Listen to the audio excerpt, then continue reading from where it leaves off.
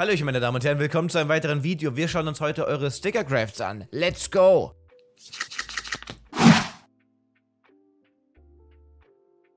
Ihr musstet dafür nur unter diesem Video hier einen ja, Code reinschreiben, mit dem ich dann eure Crafts generieren kann. Ich habe auf Neueste zuerst sortiert und gehe nach ganz unten, um mir die ältesten zuerst äh, anzuschauen und gehe dann Stück für Stück halt durch. Ich habe gecapped, ich habe gesagt, maximal 50 schaue ich mir an. Das sind aber noch keine 50, sondern äh, 45, beziehungsweise mit meinen Antworten dann halt nur noch 43 oder, oder 41, was weiß ich. Ich habe noch nicht viel beantwortet.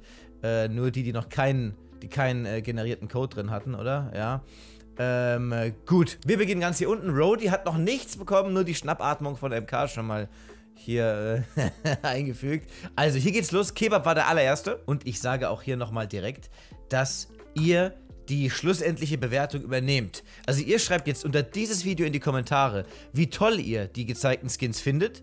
Und ähm, also jeder hat eine Stimme und kann für einen Skin stimmen. Das hier ist Skin Nummer 1 damit ihr einfach halt eine Zahl hinschreiben könnt. Und der Gewinner von der ganzen Chose bekommt dann einen 10 Euro Skinbaron-Gutschein und kann damit bei Skinbaron einkaufen. So, Delle, das hier ist der Skin von Keyboard Kebelsen. Ach, was wird denn da reingelabert, Yoshi? Ich weiß jetzt nicht genau, wie ich euch das Teil dann am besten zeige. Ob man das, ich, ich bin in der Hand, so ist es ja auch gedacht, dass ich auf dem Server mir das angucke. Ja, also er hat hier diese vier Stickerchen draufgeklebt und das ist Kebis Vorschlag. Nummer 1. Also meiner Meinung nach ist das, äh, ja, jetzt weiß ich nicht, Kebi. Weil, wie ich, wie ich das finden soll, also.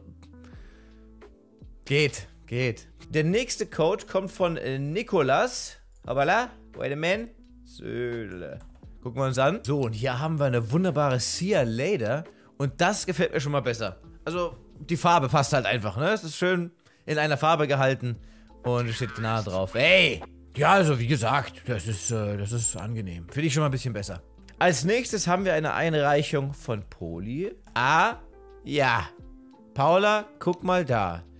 Auch, ja, auch passend da auf jeden Fall. Das Blau fortgesetzt auf dem Griff, das sieht ganz nice aus.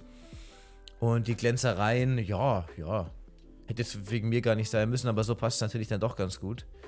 Äh, Skin Nummer 3 von Poli. Diese leckere Berries and Cherries. Lelefty ist der nächste. Er ist übrigens derjenige, der diese wunderbaren Render immer macht für die Livestream-Ankündigung hier auf YouTube. Ach, eine Fuel Injector mit, einem Sticker, den ich überhaupt nicht kenne. Okay, ist das von irgendeinem Team? Ja. Ja, viermal denselben draufgeschisselt. Und äh, in Gelb eben gehalten. Also hier auch wieder das Motto: gleiche Farbe zu gleicher Farbe. Also schlecht finde ich es jetzt nicht. Ich bin halt schon sehr gespannt, ob jetzt irgendwie dann noch ein Craft kommt, wo ich sage, ach du Scheiße, wie krass, das, das addet so viel Value, also nicht in, in Sachen äh, Wert, sondern äh, im, vom Aussehen her, dass ich da aus dem Häuschen bin. Aber sowas finde ich schon auf jeden Fall sehr nice, weil es halt so schön da ins, äh, ja, in die gesamte Thematik reinpasst. Dann haben wir hier Katan als äh, Gegengewicht möglicherweise. Ah, guck mal da, eine Slate. Eine Slate mit dem Team Spirit. Uff, Baba drauf. Ja, da ich ja Grün-Fan bin und Grün auf Schwarz auf jeden Fall auch nice aussieht, geht es schon. Aber da finde ich jetzt die anderen beiden, die so in einer Farbe gehalten wurden, oder drei vielmehr, fand ich schon ein bisschen besser. Ich habe vorhin bestimmt vergessen, die Zahl anzusagen, darum steht hier oben bestimmt auch nochmal die Zahl, was das jetzt hier für ein Skin ist, der wievielte, damit ihr dann bei der Bewertung eben ganz einfach schreiben könnt, ich bin für Skin Nummer 5. Es fühlt sich an wie der fünfte Skin. 4 oder 5. Sonton ist der nächste und wir haben eine AK-47 Point Desiree. Ja, mit diesem lilan äh, Mausboards-Sticker. Und vorne auch nochmal Mausboards, aber mit Sternchen. Ich, ich hätte gerne, dass er das länger hält. Naja, F gedrückt halt, das ist vielleicht ein Plan. Ja, äh, pff, nice, nice Ding auf jeden Fall. Ja, kann man mal machen. Und die andere Seite? Ah ja, keine Sticker. Von meiner Seite aus geht diese Wertung aber dann auch wirklich nur in Bezug auf das Aussehen. Also nicht auf, oh wow, das sind irgendwelche besonderen oder alten Sticker oder, oder sonst wie. Und das würde ich mir bei euch natürlich auch wünschen, dass ihr danach eben Aussehen geht. Also wie sieht dieser Craft für euch aus? Nicht, wow, da ist ein goldener Sticker drauf oder ein teurer Sticker, deswegen ist es gut. Also sondern halt nur Aussehen. Weiter geht's. Bloomy ist der nächste in der Reihe. Und Blüm Blümchen Blümchen hat seine Galila Air Hunting Blind ready gemacht. Dieses Teil, ich nehme an, das ist exakt die, die hat er, hat er bestimmt auch in den Kommentar geschrieben. Genau diese hier hat er mir als, ich sag mal, Dauerleihgabe auch auf meinen zweiten Account gejallert. Er meinte, die ist ihm, die liegt ihm am Herzen. Wir können gleich mal kurz in den Kommentar reinlesen, aber das auch nochmal geschrieben hat. Moment, noch drüber schauen. Ja, ja. Ja, naja, der Grundskin ist halt wirklich so. Hm. Er schreibt hier, bin trotzdem nicht ganz überzeugt, weil wenn ich jetzt eine White Lotus nehme und vier Katowice, dann ist der Skin zwar mega viel wert, sieht aber trotzdem... Ja, ja, klar, klar. Ich setze mich da mal dran, aber bis jetzt bin ich noch nicht überzeugt. Wir werden sehen, so, dass ja, falls es nicht funktioniert, äh, das ist meine Galil aus meinem Inventar läuft. Blumi, äh, du hast sie wunderbar dargestellt. Genau die habe ich jetzt ja auch bei mir im, im Inventar. Kuss. Nächster ist Capri Yolo. Okay. Die, Kommentare übrigens, die kommentiere ich noch. Also, ja, ich habe das, bin da noch nicht durch, aber das, oh Gott, ist schon zwei Wochen her. Holy shit. Da muss ich ran. So, Mr. Yolo, wie sieht's aus? Was hast du da Schönes zurechtgemacht? Eine Pistole, eine Traitor? Ah, ja, mit Fnatic drauf, mit Fnatic. Das, das sieht doch nice aus. Also, die, die blenden schon irgendwie, blenden sich ganz gut ein, wisst ihr? Kann man mal machen. It's Damos ist der nächste Kandidat. Ah ja, eine M4A1S Dezimator mit einer, uh, einer Brille drauf. Das sieht schick aus. Gerade vorne die zerbrochene Brille, also Snowboardbrille oder Taucherbrille, was es sein soll, keine Ahnung. Das Sieht schon sehr, sehr gut aus. Flay X ist der nächste. Und er hat uns eine Pistole ready gemacht, eine Orion. Ah ja, mit Fnatic drauf. Mhm. Schön glänzend, schön glitzernd. Ich, ich, ich hoffe, dass ich alle Nuancen, alle Facetten mitbekomme, wenn ich mich hier so ein bisschen, so ein bisschen reindrehe. Äh, das sieht doch schon ja, also hier, diese Sticker sehen auf jeden Fall, äh, also sie blenden nicht so schön ein wie die, wie die anderen. Also Blend-In meine ich, ihr wisst schon. Germanos hat auch eine nette Einsendung äh, geschickt. Und zwar eine AK-47 Vulkan mit, mit den Titan-Stickern. Okay, das, das sieht wiederum sehr nice aus. Gut, der vorne vielleicht nicht so ganz, oder? Ich weiß es nicht. Ich finde vor allem die ersten, also bei den Stickern geht man ja meistens von rechts in Position 1 und dann geht es, glaube ich, von rechts nach links halt. Also Position 1 und 2 finde ich sehr, sehr nice. 3 geht und 4, so ganz links, ist, äh, wirkt irgendwie off. Aber äh, ja, doch, doch, das sieht auch ganz nice aus. Wir haben hier von Frankie noch eine Einsendung. Und zwar eine Glock 18 Fade. Ah ja. Da hat er den, den Farbverlauf eben genommen mit den, mit den Stickern. Vorne. Äh, Platz Nummer 1 wäre, glaube ich, unten am Griff, ne? Und dann kommt zwei oben drüber und dann halt wieder nach links, glaube ich. ich. ich. weiß es gerade nicht genau. Ich habe so selten Sticker auf meine Waffe gemacht, aber ich meine, wenn man es dann in Counter-Strike selbst macht, dann ist es von rechts nach links und von unten nach oben. Aber sicher bin ich mir nicht. Aber unten am Griff, äh, ja, das geht auf jeden Fall klar. Danach halt der blaue, der hier auch ganz gut dazu passt. Der, der rote da, das, ja. Aber jetzt der letzte, da muss halt dann da muss halt dann der Winkel passen, da muss das Licht passen. Also wenn man es so macht, sieht es schon sehr nice aus. Beziehungsweise so, so ungefähr. Äh, muss man halt richtig halten. Aber das ist, äh, ja, ist halt auch jetzt eher mein Fehler, wenn ich es nicht richtig halte. Also kann man auf jeden Fall machen. Hier ist eine Einsendung vom Keck. Da bin ich sehr gespannt, was der Keck gemacht hat. Ah, eine Coalition. Oh. Ja, das, das sieht, ich finde, das sieht sehr gut aus. Das passt auch. Passt auch wirklich gut. Die, die letzten zwei, also links die zwei, die sind, zu, also sind leider zu nah beieinander. Aber äh, das sieht doch gut aus, auf jeden Fall. Das gibt auch schon so einen kleinen Pluswert optisch. Dann haben wir ja noch von AVY oder auch AV eine Einsendung. Sneasel macht euch ja zum Glück oben die, die Zahlen rein, weil ich weiß, wie gesagt, nicht mehr, bei welcher Nummer wir jetzt sind, damit ihr eben gemütlich abstimmen könnt. Ich wiederhole hier nochmal in den Kommentaren, könnt ihr das machen. Jeder hat eine Stimme, also ihr schreibt einfach blablabla blub und danach, ich finde übrigens, dass äh, Skin-Nummer, was weiß ich, 8 äh, oder 9 oder was das ist oder 10, dass der am besten aussah. Und dann gucke ich halt, wie viel dafür waren und so wird der Gewinner festgestellt. So, ja, wir haben hier eine leckere Redline mit äh, dicken Stickern drauf. Also vor allem an Wert ist hier, ist hier viel drauf. Ich weiß nicht, ob, also der, der Crown-Sticker, der sticht halt richtig, richtig fett raus. Ich weiß nicht, ob dieses Gesamtensemble da nicht vielleicht sogar etwas halt über, also vor allem, wenn man es so macht, ist halt absolut flashy, aber so geht's. Ob der sich da nicht zu sehr, zu sehr reindrückt. Wisst ihr, der, der ist so aufdringlich einfach von, von seiner Art halt, wie er halt ist, gold und glänzend. Da sind die anderen drei Sticker doch schon angenehmer und passen sich besser der Waffe an. Aber trotzdem gibt es nach vorne hin auch mal einen schönen Akzent. Also ich würde sagen, äh, das kann man, kann man schon kann man schon machen auf jeden Fall, ja. Das, das, sieht gut aus. Dann haben wir hier von Dr. Med Keems und auch Schems. Monsieur, komm mal wieder ins Stream. Alla, haben wir auch eine Einsendung. Äh, ich nehme natürlich nur eine. Warte, man sollte die Möglichkeit haben. Check die hier mal in finde das Browser Tool echt pain to use. Ja, das, äh, das ist, äh, das haben ein paar geschrieben, dass es nicht so äh, leicht zu nutzen ist. Und das ist meine Also, äh, Dr. Med, ich kann jetzt hier nur eine nehmen für dieses, ne, du weißt schon, für, für diese Sache halt. Ähm, von Megacraft, also die AK. Okay. Also ich nehme an, das ist das, was du mit in den Rennen schick, in das Rennen schicken willst, meine ich. Das ist jetzt halt wichtig. Kannst du nicht mehrere senden. Also hier ist von Dr. Med die Waffe, so wie ich das verstanden habe, die er mit ins Rennen eben reinschickt. Diese Ice Cold, äh, ja, sehr, sehr dezent. Die stechen auf jeden Fall nicht so krass heraus, beziehungsweise der Vorderste dann doch wieder. Aber die anderen passen sich ganz gut an. Und dann dieser äh, Farbverlauf, der geht auch schön mit dem Ice Cold Verlauf halt mit. Also das kann man kann man auf jeden Fall so lassen. Der vorne, ich muss da ein bisschen gegen die Sonne halten, Crystal, ist dann nochmal, äh, ja, ein Tupfer. Ein kleiner ein Tüpferchen. Aber ich weiß nicht, ob ich den da vorne drauf gemacht hätte. Den, den Crystal.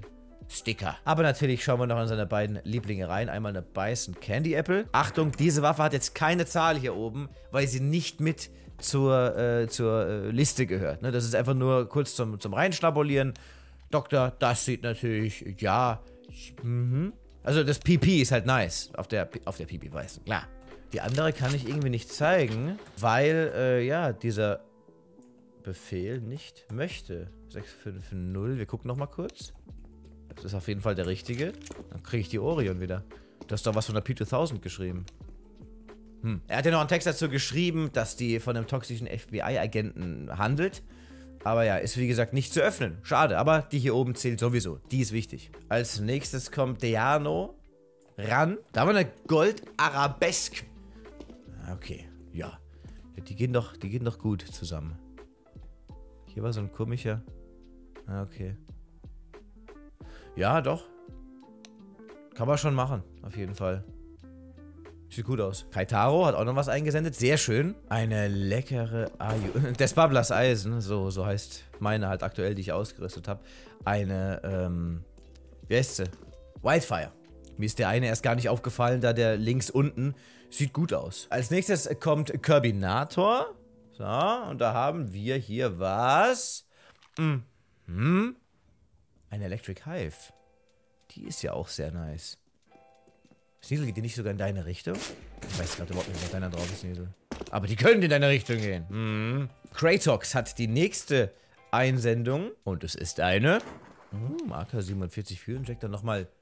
Aber dieselbe wie... Warte, ich muss kurz gucken. Ich was nicht. Spiele schon immer die Fuel Injector und möchte diesen Craft machen. Okay, okay. Also dann haben wir hier tatsächlich zweimal jetzt den gleichen sogar schon gehabt. Oder das ist doch genau derselbe. Oder waren die vorhin glänzend? Ah, ich bin gerade nicht sicher, ob die vorhin glänzend waren. Oder glänzige, auf jeden Fall.